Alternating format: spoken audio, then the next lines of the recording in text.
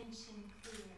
In the letter he sent to me, he said, with deep admiration, I want you to know that I will be your champion in this work. This is somebody who didn't know me from Adam.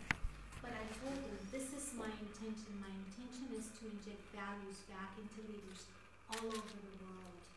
Because I think that values is something that is lacking all over the world. In government, in academia, in,